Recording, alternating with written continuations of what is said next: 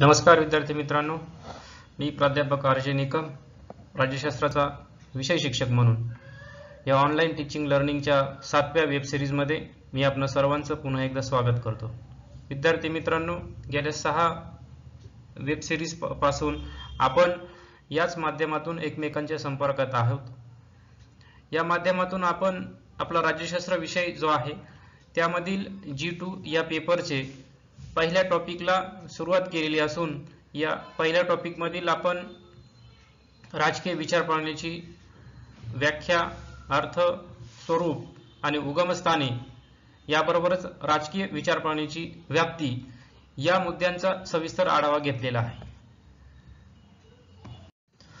आज आपण राजकीय विचारप्रणालीची भूमिका या मुद्द्याचा सविस्तर आढावा घेणार आहोत. एकोणावीसव्या शतकामध्ये सर्वप्रथम फ्रान्समध्ये प्रचलित झालेली ही संकल्पना आज राजकीय चिंतनातील परवलीचा शब्दप्रयोग बनलेली आहे. आज प्रत्येक राजकीय संघर्ष विचारप्रणालीच्या परिभाषेत मांडला जात असतो आणि प्रत्येक राजकीय व्यवस्थेला विचारप्रणालींवर आधारित वर्गीकरणात कुठे ना कुठे बसवलेच जाते. विचारप्रणाली या संज्ञेचा अर्थ इष्ट संदर्भात जसा केला जातो तसाच तो अनिष्ट संकल्पना याही संदर्भात करणाऱ्यांची संख्या बरीच मोठी प्रमाणात वाढत चाललेली आपल्याला दिसून येते. आपण येथे विचारप्रणाली या संकल्पनेची ऐतिहासिक पार्श्वभूमी त्याचबरोबर विचारप्रणालीची भूमिका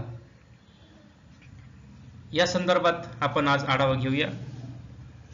टोळी समाजाचा अस्त होऊन शहरांचा व बाजारपेठांचा उदय झाला तेव्हा एक सुसंघटित समाज अस्तित्वात आलेला होता. लोकांच्या श्रद्धांचे व श्रद्धांना एक पंथाचे स्वरूप प्राप्त झालेले होते. पारंपरिक श्रद्धांना पुष्टी देणारे मिथके या काळामध्ये निर्माण झाले. गटागटांमधील स्पर्धा व संघर्ष यांची तीव्रता यामध्ये वाढली. आणि हा संघर्ष केवळ पार्श्वी बळांचा संघर्ष नव्हता तर त्याला एक विचार भिन्नतीची कडा सुद्धा होती. या विचारांच्या मागे तार्किक सुसंगतीचे सूत्र उभे करण्यातून विविध विचारप्रणाली जगभरामध्ये अस्तित्वात आल्या. त्या लोकांना प्रेरणा व दिग्दर्शन करू लागल्या प्रेरणा देऊ लागल्या. काही लेखकांच्या मध्ये धार्मिक प्रभावाचा रास ज्यावेळेस सुरू होतो तेव्हा विचारप्रणालीच्या उदयाची बीजे ही सुरू होत असतात. मध्ययुगामध्ये लोक स्वतःच्या प्रश्नांना स्वतःच उत्तरे शोधित होती. धर्मगुरूंनी दिलेली जी काही उत्तरे आहेत ती ते प्रमाणभूत मानत असेल राजकारण हे फक्त राजा रजवाड्यात राहणाऱ्यांचेच कार्यक्षेत्र आहे. राजकीय समुदायांना संघटित व व्यवस्थित ठेवण्याचे कार्य करण्यास धर्मसंस्था पुरेशी आहे असं त्यावेळेस लोक मानत असायचे. प्रबोधन काळानंतर माणसे स्वतः विचार करू लागली. औद्योगिक क्रांतीतून असंख्य नवे प्रश्न त्यांच्यासमोर उभे राहिले होते. नवी उत्पादन तंत्रे शहरीकरण औद्योगिकरण यामधून पारंपरिक समाज व्यवस्था मुळात सकट हादरले होते. जनसामान्यांना सुरक्ष असुरक्षिततेच्या भावनेने व वैचारिक गोंधळाने ग्रस्त केले होते. विद्वानांनी व तत्वज्ञांनी या घडामोडींची संगती लावण्याचा व स्पष्टीकरण देण्याचा प्रयत्न केला. त्यांच्या या प्रयत्नातून विविध विचारप्रणाली आकारास येत गेल्या. धर्म ज्या प्रश्नांची उत्तरे देण्यास असमर्थ होता त्या प्रश्नांची उत्तरे विचारप्रणाली देऊ लागल्या होत्या. याच काळामध्ये समाजधारणेसाठी धर्माचे बळ अपुरे पडू लागले तेव्हा विचार प्रणालींनी ते कार्य आपल्या खांद्यावर घेतले. राजकीय सहभागाच्या कक्षा विस्तारत गेल्या तसतसे विचार प्रणालींचे महत्वही वाढत गेल्याचे आपल्याला दिसून येते. समकालीन प्रश्नांची तसेच चिरंतन समस्यांची सोडवणूक करण्याचे सूत्र म्हणून विचार प्रणालीकडे आज पाहिले जाऊ लागलेले आहे. त्यामुळे संघर्ष काळामध्ये जेव्हा समकालीन प्रश्नांची तीव्रता लोकांना भेडसावीत असे अशा वेळी आपल्या सर्व व्याधींवरचा एक रामबाण उपाय म्हणून विचार प्रणाली लोकांना एक उपाय देत असते. एक समर्थ पर्याय म्हणून देत असते. असह्य वर्तमानातून बाहेर पडून सुखदायी भवितव्याचे स्वप्न साकार करण्याचे साधन म्हणून सुद्धा विचार प्रणालीचा लोक स्वीकार करताना आपल्याला दिसून येतात. यामागे बुद्धिजन व तर्कसंगत कारणांपेक्षा श्रद्धेचा व भावनेचा भाग अधिक असायचा. विचारप्रणालीमध्ये वैज्ञानिक व विवेकसिद्ध विधानांबरोबरच कल्पिक मिथकांची सरमिसाळ असल्यामुळे त्यांना संपूर्ण शास्त्रीय सत्य व केवळ भाकड कथा यापैकी कोणत्याही एका वर्गात बसवणे अशक्य होते.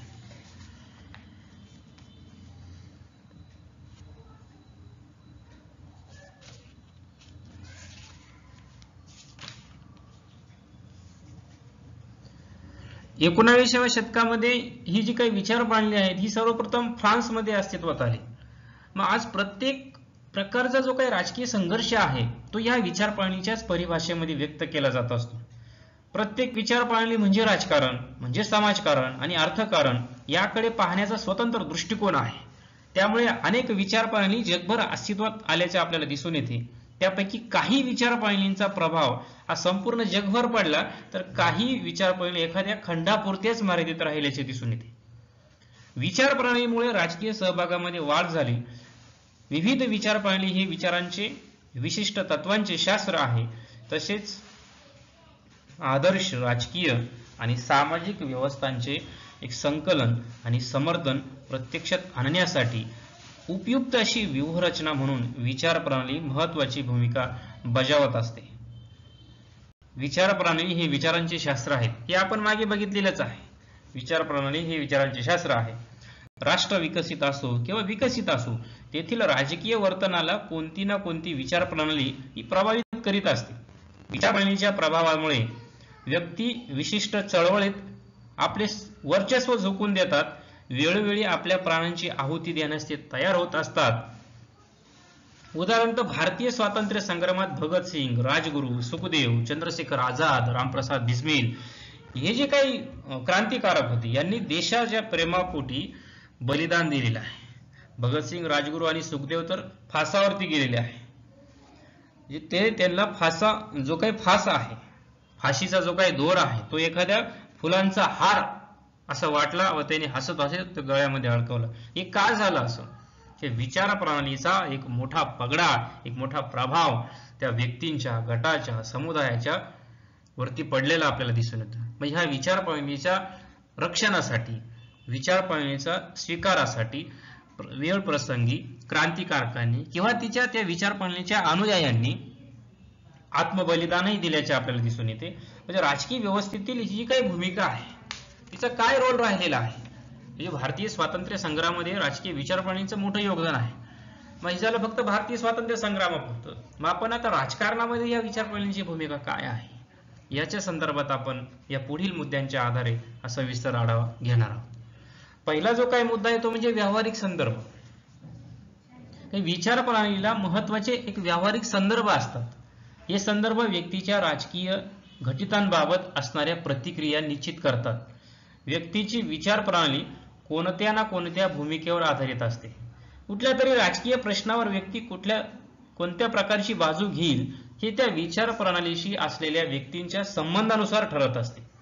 प्रत्येक व्यक्तीच्या वैयक्तिक अशा आकांक्षा धारणा तिच्या विचारप्रणालीतून निर्धारित होत असतात. कोणतीही संघटना किंवा राजकीय पक्ष यांचे सदस्यत्व याच आधारावर ठरत असते. म्हणजे विचारप्रणाली काहीतरी एक व्यावहारिक संदर्भ असतात. कुठला तरी प्रश्न किंवा कुठली तरी एक भूमिका घेऊन व्यक्ती त्या विचार पॉईंटचा स्वीकार करत असते. व्यावहारिक जीवनामध्ये एखादा गट किंवा एखादा व्यक्ती जेव्हा विचार प्रणाली मांडत असतो त्यावेळेस तिला काहीतरी प्रॅक्टिकल बेस असतो. काल्पनिक स्वरूपाचे असे काही विचार प्रणाली नसतात. म्हणजे गांधीवादी विचार प्रणाली आहे. तिला एक व्यावहारिक बेस आहे. समाजामध्ये अहिंसेच्या आधारे समाज सुधारणा झाली पाहिजे किंवा आपल्याला स्वातंत्र्य प्राप्ती ही अहिंसेच्या आधारे झाली पाहिजे किंवा जो काही विकास समाजाचा करायचा आहे तो अहिंसेच्या माध्यमातून झाला पाहिजे. ग्रामीण विकास जो आहे तो ग्रामराज्य संकल्पना विचार प्रणाली महात्मा गांधीजींनी सांगितली. म्हणजे त्याला काहीतरी व्यावहारिक संदर्भ आहे की ग्रामीण लोकांचं एकंदरीत संपूर्ण भारतातील देशातील अर्थव्यवस्था कशा पद्धतीची असली पाहिजे याचा एक पायंडा किंवा याचं एक सूत्र महात्मा गांधीजींनी आपल्या ग्राम स्वराज्य किंवा गांधीवाद या विचारप्रणालीच्या माध्यमातून पाहिलं. तसेच उदारमतवादी विचार आहे की समाज जीवनामध्ये व्यक्तीच्या विकासासाठी अधिकाधिक स्वातंत्र्य व्यक्तीला दिलं गेलं पाहिजे. ही उदारमतवादी विचारप्रणाली सांगते. बाजारामध्ये किंवा बाजारपेठेमध्ये भांडवलदारांना अधिकाधिक स्वातंत्र्य दिलं गेलं पाहिजे. तर त्यातून एक बाजारात एक स्वतःचं गतिशास्त्र जे आहे ते अधिक त्याला गतिमान होईल. हे काहीतरी एक व्यावहारिक प्रॅक्टिकल स्वरूपाचं विचारप्रणाली ही बेस्ट प्रॅक्टिकल स्वरूपाचा तो असतो.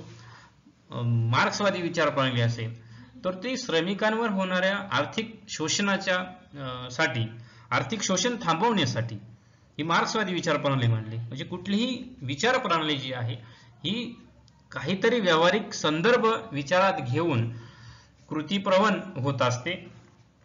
त्यानंतर अं, दुसरा मुद्दा जो आहे हा जीवनाला नवी दिशा. तर मानव हा अर्थपूर्ण जीवन जगत असतो. केवळ भोगविलास करून आयुष्य व्यतीत करणे हे मानवाला शक्य नसते. केवळ भोगविलास हेच आपल्या आयुष्याचे ध्येय आहे असे जर त्याने मानले तर त्यानुसार वर्तन केले तर मनुष्य व पशु यामध्ये अजिबात फरक असणार नाही. कारण मनुष्य हा समाजशील व विवेकशील प्राणी आहे. जंगली पशुप्रमाणे मनुष्याला केवळ भोग किंवा वैषयिक इच्छा पूर्ण करणं हेच एकमेव उद्देश नाहीये. किंवा अन्न मिळवायचं आणि भोग विलासात राहायचं अशा प्रकारचं जंगली प्राण्यांसारखं अस्तित्व राहून किंवा जीवन जगून मनुष्याला शक्य नाही.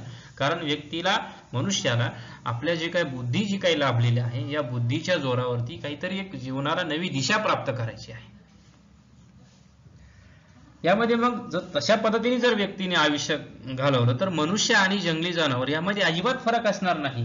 म्हणून मानवाच्या जीवनाला अनेक घडामोडी होत असतात जीवनामध्ये. या घडामोडींचा त्याच्या जीवनावर अनुकूल किंवा प्रतिकूल असा परिणाम होत असतो. मग पूर्वी केवळ धर्माच्या आधारे मानव आपले जीवन व्यतीत करत होता. आज मात्र विचार प्रणालीमुळे मानवाला आपल्या जीवनाची निश्चित दिशा कोणती आपल्या आयुष्याचे नेमके ध्येय कोणते आहे याची माहिती होण्यास मदत झालेली असून विचारप्रणाली माणसाला एक विवेकपूर्ण भूमिका आखून देत असते. आपल्या ध्येयावर निष्ठा ठेवून शाश्वत असे जीवन जगण्याची हमी देण्याची भूमिका ही विचारप्रणालीची आहे. म्हणजे व्यक्तीला आपल्या जीवनाकडे बघण्याचा एक दृष्टिकोन असतो. तो दृष्टिकोन देण्याचं एक जीवनाला दिशा देण्याचं काम ही विचारप्रणाली करत असते. मग व्यक्ती सुद्धा कुठल्या ना कुठल्या विचारधारेचा पुरस्कर्ता असतो. काही व्यक्ती या हुकुमशाही वृत्तीच्या असतात. तर काही व्यक्ती या लोकशाहीवादी वृत्तीच्या असतात. काही अं, साम्यवादी विचारसरणी काही गांधीवादी विचारसरणीचा स्वीकार केलेला असतो. मग ते त्या गांधीवादाने सांगितल्याप्रमाणेच आपल्या जीवनाचं आचरणही करत असतात.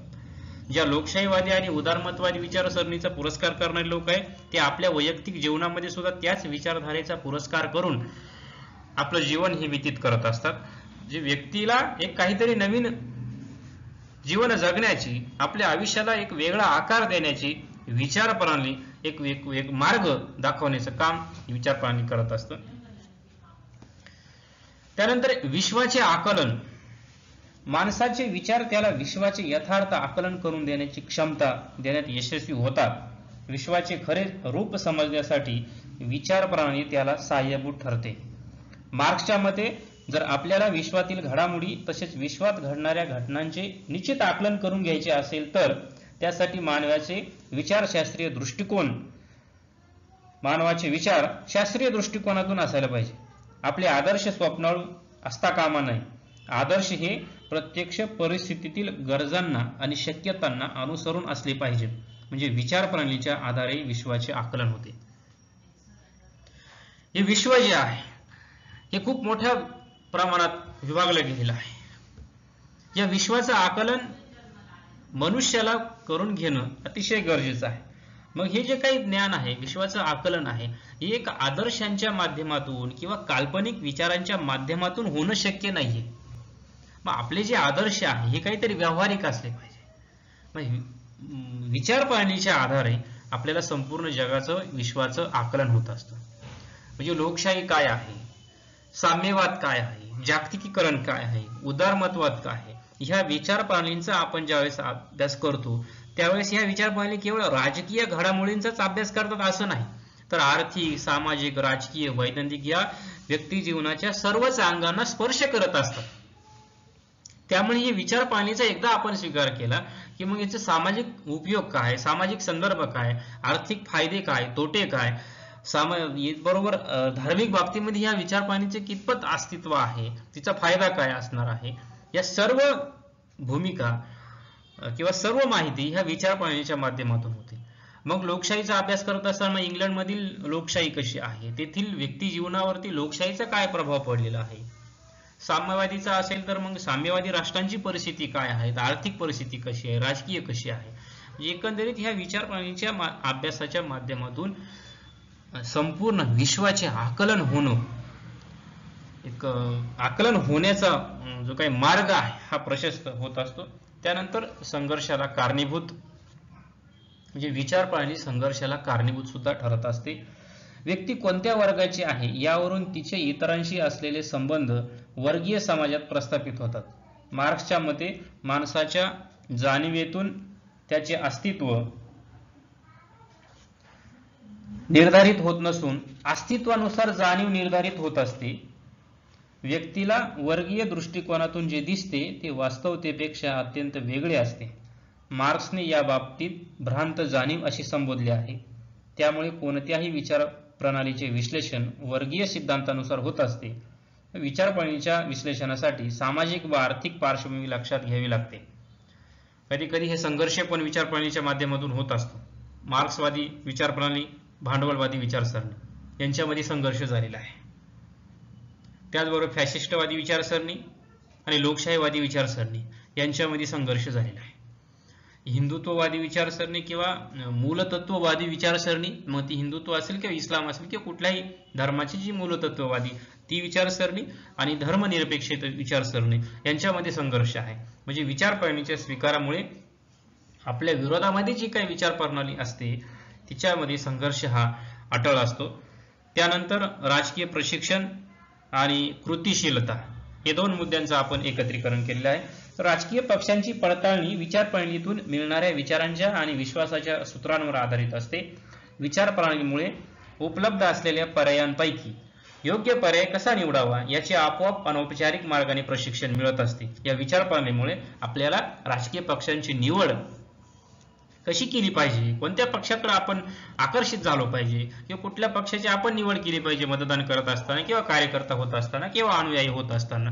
कारण कुठला ना कुठला पक्ष हा कुठल्या ना कुठल्या विचार प्रणालीवर विचारधारेवरती आधारित असतो. मग आपल्याला योग्य अशी विचारप्रणाली कोणती वाटते? तर त्याच पक्ष त्याच विचारप्रणालीचा स्वीकार करणाऱ्या पक्षाकडे व्यक्ती आकर्षित होत असते. म्हणजे ह्या विचार प्रणालीच्या अभ्यासातून आपल्याला राजकीय पक्षांमधील वैचारिक मतभेद सुद्धा लक्षात येत असतात. त्यानंतर कृतिशीलता विचार पाळणीमुळे व्यक्ती आपल्या सहकार्यांबरोबर संघटितपणे आणि अतिशय शिस्तबद्धपणे राहण्याचा प्रयत्न करतात. आपले ध्येय साध्य करण्यासाठी उपलब्ध असलेल्या नेतृत्वाची अधिसत्ता मान्य करावी लागते. नेतृत्वाकडून नेत्याकडून येणाऱ्या आज्ञांचे पालन करावे लागते. संघटनेतील आपली भूमिका आपण समर्थपणे पार पाडली पाहिजे व ही भूमिका पार पाडत असताना कोणत्याही प्रकारचा स्वार्थ मनात ठेवता कामा नये. याची जाणीव विचार माध्यमातून होत असते. थोडक्यात काय? तर विचार प्रणालीमुळे व्यक्तीमध्ये कृतिशीलता निर्माण होते. व्यक्तिगत आणि सामूहिक पातळीवर एक प्रकारचं नव चैतन्य निर्माण होत असतं. मुळातच विचार प्रणाली ही कृतिशील असते. विचार प्रणाली व्यक्तीला कृती करायला भाग पाडत असते. एखाद्या साम्यवादी विचारप्रणालीचा जर स्वीकार केला तर साम्यवादी विचारधारा काय सांगते? की समाजामध्ये आर्थिक समता प्रस्थापित झाली पाहिजे. मग आर्थिक समता प्रस्थापित होण्यासाठी काय करावं लागणार आहे? कुठल्या कृती करावी लागणार आहे? तर ही कृती सुद्धा करावी लागत असते. क्रांती करायची. मग साम्यवादीचे समर्थक जे आहे तर ते क्रांती करतात. चीन आणि रशियामध्ये ही क्रांती झालेलीच आहे. लोकशाहीवादी विचारसरणी आहे तर नुसतं लोकशाहीचा स्वीकार करायचा आणि शांत बसायचं असं नाही. तर लोकशाहीमध्ये जी काही तत्वे सांगितलेली आहे लोक स्वातंत्र्य समता बंधुता हक्क न्याय ही जी काही तत्वे आहेत हे तत्वे आपण समाज जीवनामध्ये वावरत असताना ती अंगीकर अंगीकृत करावी लागणार आहे. नुसतं लोकशाहीच्या गप्पा मारायच्या आणि शांत बसायचं असं राहणार नाही. तर आपलं वर्तणूक सुद्धा त्याच विचारधारेच्या अनुसरून असली पाहिजे. आता गांधीवादीची जी काही विचारसरणी आहे तर गांधीवादीची विचारसरणी जी आहे तर त्या विचारसरणीचा स्वीकार करणारी जी काही लोक आहे तर ह्या लोकांनी त्या गांधीवादी विचारसरणीनुसार राहणं अपेक्षित आहे. तशी कृती करणं अपेक्षित आहे. म्हणजे महात्मा गांधीजींनी जी काही सर्वोदयाची संकल्पना सांगितली तिची कृतीप्रवण किंवा ती कृती शिलतेमध्ये आणण्यासाठी मग त्यांचे जे काही होते अनुयायी या अनुयायांनी त्यांचं आदेशांचं पालन केलं महात्मा गांधींचं आणि संपूर्ण भारतभर ही भूदान चळवळ त्यांनी सुरू केली. म्हणजे एक प्रकारची कृती केली त्या विचार प्रणालीच्या अस्तित्वासाठी. अशा प्रकारे ही कृतिशीलता कृतिशील भूमिका ही पार पाडावी लागते. हे काम करत असताना म्हणजे विचार प्रणालीचं कृतिशीलता करत असताना कुठल्याही प्रकारचा स्वार्थ मनामध्ये ठेवायचा नाही. आपण विचारप्रणालीसाठी करत आहोत हे जे काम आहे. आपण आपल्या वैयक्तिक स्वार्थासाठी हे काम करणार नाही. तर विचारप्रणालीचा विस्तार करण्यासाठी विचारप्रणाली जिवंत राहण्यासाठी ही जी काही कृती व्यक्ती करणार आहे ती कृती प्रत्येकजण करत असतं. तर अशा या पद्धतीने या राजकीय विचारप्रणालीची भूमिका राजकारणामध्ये काय आहे? समाज जीवनामध्ये ही भूमिका काय आहे? तर ह्याचा आपण सविस्तर आढावा घेण्याचा प्रयत्न केलेला आहे. या संदर्भात तुम्हाला जर काही शंका असतील तर माझा जो काही पहिल्या स्लाइडमध्ये जो फोन नंबर दिलेला आहे त्यावर तुम्ही फोन करून शंका विचारू शकतात. या शंकांचे निश्चितच माझ्या परीने निरसन करण्याचा मी निश्चितपणे प्रयत्न करेलच. आज आपण इथपर्यंतच बघूया हे लेक्चरमध्ये जो पुढचा जो काही मुद्दा आहे तो आपण पुढील लेक्चरला बघूया. तोपर्यंत इथेच थांबूया. धन्यवाद.